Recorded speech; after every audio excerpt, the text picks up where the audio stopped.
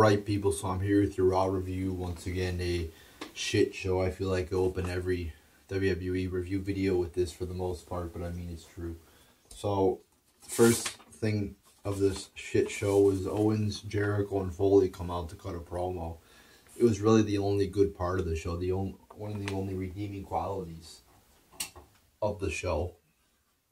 Um, so I thought it was good. I thought it was funny at times. You know, they actually use like this fucking shark cage to put Jericho in. You know, I always say I like things that are creative and that are funny.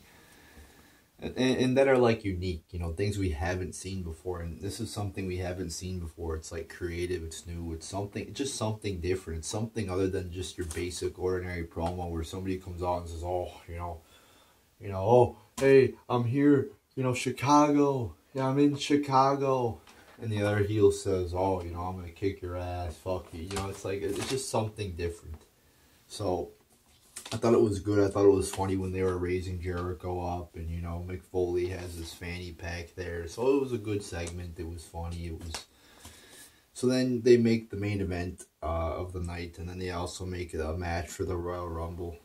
Um, and you notice there was no Roman Reigns in this segment. There was no, you know, pe people like that, no Rusev. So it was good, you know, people who fucking suck and can't can't cut a promo promo were left out of the seg segment, and therefore it was a good quality segment. Then we have Rusev and Big Cass ending in in a disqualification. It was a short match. It was literally one minute long.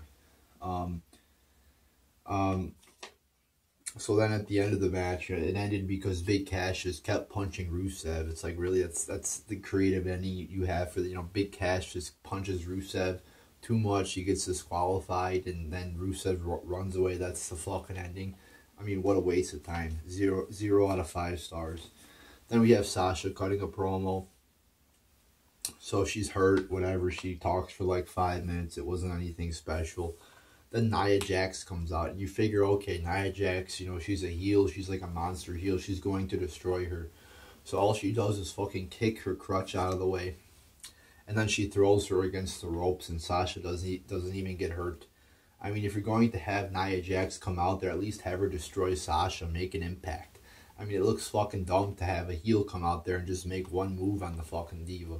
I, I, I mean, what a waste didn't make any sense to me. Just a bad segment altogether. Then you have a cruiserweight match. Alexander defeating Dar in just a short, boring waste of time. Zero, zero out of five stars. It was only one minute and 50 seconds long. So literally, literally like an hour and 20 minutes through the show, I was looking at it. There was only two minutes and 50 seconds of actual wrestling. Two matches, two minutes and 50 seconds. I mean, I mean, what a fucking just waste of time. What a disgrace. I think that I mean it was something like that. Like the show was almost half over, like an hour and a half through, and almost an hour and a half through, and, and it's like I was looking at it, and it's like there, there there's been less than three minutes of actual wrestling on this wrestling show. Oh, sorry, it's called a sports entertainment show. Yeah. So once again, the cruiserweights are you know not given enough time. Then we have the New Day and Cesaro and Sheamus cutting a promo. You know, obviously we know we know Cesaro and Sheamus have uh, just won the, the, the tag belts. So the new, you know, it's just a pretty basic promo in my opinion. I mean, it was mediocre. Um, I mean, it just wasn't anything special. I mean, they had a couple, you know, decent things in there. You know, Cesaro making fun of Sheamus and shit. But but I mean, it just wasn't really that funny. It wasn't entertaining. It didn't really do anything for me and then Gallows and Gallows and Anderson, and then the shitty stars come out. To, to, you know, it's like every fucking promo. It seems like is to create a match. It's like we can't ever just have a good fucking promo to like oh build up to a match. You know, build up to a future match at a pay per view, or just have a good promo to have a good promo. It's got to be over. We're having a promo to to create a match. You know, it's like that's what every fucking promo in, in, in this company leads. I mean, I mean, I guess that should be the case, but I mean, we should have promos building up to like pay per view matches and shit. It's like they have more promos to build up to matches on Raw than they do to build up to matches on pay per views. You know, it's like if you look at Roadblock, how many promos did you have between Owens and Reigns on Raw? None. You had one at, at, at the fucking tribute to the troops, and that's it. it's, it's I don't know, just like I, I just want promos where it's like just two guys in there cutting a promo, not fucking you know, bring it's like and also too they never have two guys in there really cutting a promo face to face for like 15 minutes just cutting a good raw promo unscripted promo no it's like they they got to have a million guys in there so there's never any sense to it. There's never any format. It's just fucking every guy talks for 30 seconds so there's no momentum built up in the promo. It's just like this one you had fucking 16 guys out there or, or not 16 but 8 guys out there cutting promo. It's like it's too much chaos so, so yeah, just a mediocre promo. And then, of course, it leads to a uh, an eight-man tag match with the New Day, Sheamus and Cesaro defeating Gallows and Anderson and the Shitty Stars. Just a boring eight-man tag match. It was 7 minutes and 50 seconds long. I gave it 0 out of 5 stars. Just your typical ass WWE tag match. They always suck. Same fucking format. And they're just terrible. Then we have Neville and Swann cutting a promo you know, it just was short and it wasn't enough for me. Um, you, you, I'll give them credit though. At least they're you know at least giving the the cruiserweight division some attention eh, eh, with, with the promos. I was complaining that they weren't giving them any promo time to build up any character. At least they gave them some promo time. Unfortunately, the promo was just not that good. I got a few problems with this. First, Neville has got to fucking calm down. I know he hasn't caught cut many promos before. This is just coming from my perspective. He was too, you know, yelling and like he would stand on the ropes like every time he had to say something. Uh, just calm down. It's not about how much you yell or you know. It's like oh, he's, it's like he drank like fucking ten cups of coffee before he cut this promo. You know, just calm down and say what you gotta say. You know, I know he's he's been a babyface, whatever the fuck. He hasn't had much promo time he's young. But I mean, just coming from my perspective, it just seemed like just calm down. It's more important about what you say than you know how you're acting or if you're yelling all the fucking. You know, just calm down. So, you know, they were talking about because apparently Neville and Swann were these good friends in the past. I don't know. I don't know. Um, but I mean, it was just not that good a promo. It didn't really accomplish too much. Um, you had Neville saying Swann should be thanking him. I just there were no good lines. There was no really true heat built up between the two. You know, Swann didn't really get get that into it. Oh, he's too too dancing. He's dancing all the time. You know, it's, like I hate the fucking dancing. Get get rid of the fucking dancing gimmicks. They're they're failures.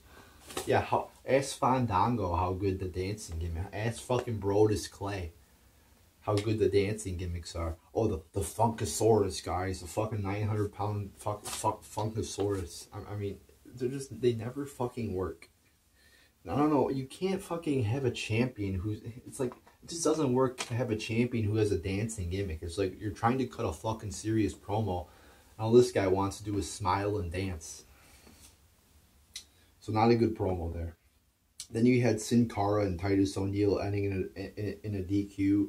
You had Braun Strowman coming out to interfere because he, he he can't wrestle Sami Zayn, so he's, you know, that's the thing. He's pissed off. But why didn't he just attack him after the match last night if he's so pissed off? You know, he, he waits till uh, apparently he just gets mad now. I mean, what is he on his period? You know, he, he, he was he was fine with with what happened last night. He was you know didn't attack anybody after the match, but now he's just fucking angry. You know, his fucking emotions are out of whack, obviously. So was only a 40 second match. Um, there was only one good spot in this match where Sin Cara was launched into the presents and the and, and, into the Christmas tree. I thought that was a good spot. Other than that, the, the segment was a waste of time and it sucked. So I gave it 0.75 out of 5 stars. Then we had Bayley defeating Charlotte. I'll give them credit. They gave it a lot of time, 11 minutes and 10 seconds. And when you're going to have a fucking upset, you, you have to give the match a lot of time like when when, when you had Miz and uh, Miz versus Apollo Crews at tribute to the troops, they gave the match like two and a half minutes, and they had Apollo Crews win. And and I was saying that's why the IC title is in the shit because of things they things like that. So, but it's like even with this, you know, Bayley wins. She's now beat Charlotte three times in a row. It's like for somebody like Bayley to beat Charlotte three times in a row Bayley being pretty much a jobber. What has she done? Oh, she's beat Dana Brooke fucking three times. Who the fuck cares? Dana Brooke's a fucking jobber who who hasn't done jack shit in this in this company. And the match was boring too. It wasn't anything that that entertaining. I gave it one out of five stars. They're obviously going to do Bayley versus Charlotte as the next feud. So we'll see where that goes. But I, I gave it one out of five stars. 11 minute and 10 second match. And also, too, I want, I want to touch on, they were doing this Enzo Amore sensitivity training.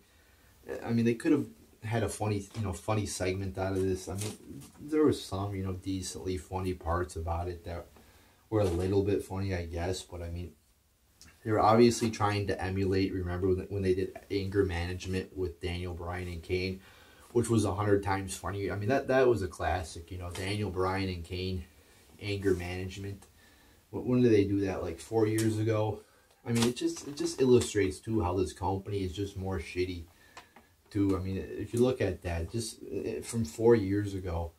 I mean, I think that was in 2012 or 2013, whatever, three, four years. You know, even then, if you compare these two segments, anger management, first off, it was longer. It wasn't just two segments of two minutes. I mean, the segments probably probably totaled four four minutes in total anger management, I believe, was like two six minutes segments. I mean, give it some time. I mean, you don't have anything better to do on Raw. Oh yeah, we gotta watch a fucking Titus O'Neil Sin Cara match. Oh my god, yeah, it's so much more important.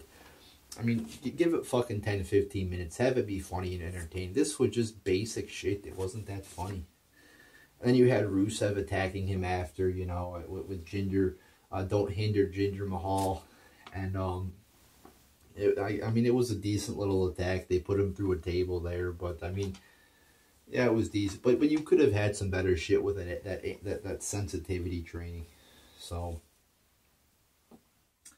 So then we had Owens and Jericho and Reigns and Rollins ending in a, in a DQ. Just a, you know, when you see like, oh, it's going to, we're just going to have a tag team match for the main event. We're just going to pair two, we're going to take two feuds and pair the faces together and the heels together and put them in the main event. I mean, that's just lazy booking, in my opinion. I mean, it's, it's just basic. I keep using the word basic to describe this company, but that's what it is. It's just basic. It's always basic. Like, this is just base. No, nobody's, you know, getting out of their seats, I don't think, to see this match because it's nothing that creative. I mean, I could have came up with this shit. I mean, I could come up with fucking 99% of this shit that, they do. It's just basic booking. It's lazy booking. It's like, why do they even pay these people to do this shit? I mean, it's pretty fucking simple to book this show. You know, the shit that they do is just, it's just wrestling 101. It's nothing, it's like the wrestlers go out there, do their ordinary moves. The, the promos are very ordinary. So, you, I mean, you might as well just get rid of the fucking, you know, writers or really, you know, lessen their role in this product and let the wrestlers do what they want. So that, so this match, was 13 minutes and 45 seconds long. Like I said, every fucking tag match in this company sucks. It's just boring, it's typical, and it has the same format, and this was true for this match. I gave it 0.5 out of 5 stars. It, it really sucked. It was really boring. And it's nobody nobody's looking forward to this match. You know, through like if you're sitting there at 9 p.m., you're not like, oh, I'm really waiting for that main event at 11 o'clock. No, it's like it's just an ordinary another main event. It's just another fucking match on the card. So yeah, and you had Braun Strowman coming out there beating up Reigns and uh, Rollins there after the match. So, I mean, nothing too impressive to me. So the match, so, so the match times, total amount of wrestling on the show was 36 minutes and 15 seconds long. That when you that's equal to six minutes per match. I have some interesting statistics here. So there was three matches that were zero, zero to five minutes.